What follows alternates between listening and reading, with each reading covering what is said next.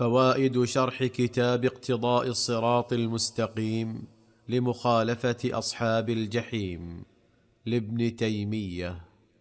قال وإن عارض ما يقتضي التخفيف عن ذلك فعل كما قال في بكاء الصبي ونحوه.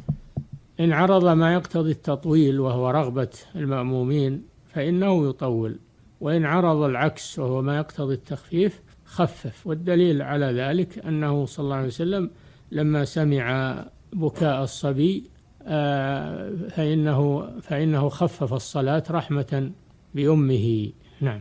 قال فقد تبين أن حديث فإذا كان فإذا كان هناك أحوال تقتضي آه، تخفيف الصلاة نظرا للظروف كان يكون مثلا في سفر يكون في سفر نعم.